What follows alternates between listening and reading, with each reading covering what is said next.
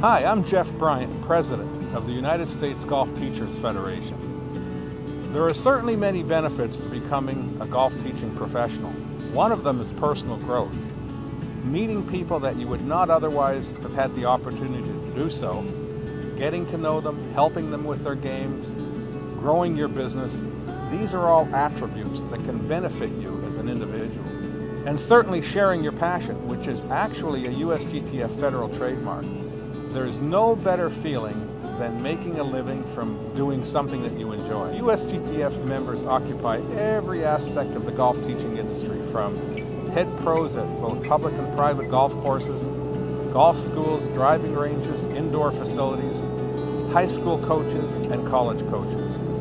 Teaching golf, the profession of a lifetime, a great way to get involved in the vast worldwide golf industry.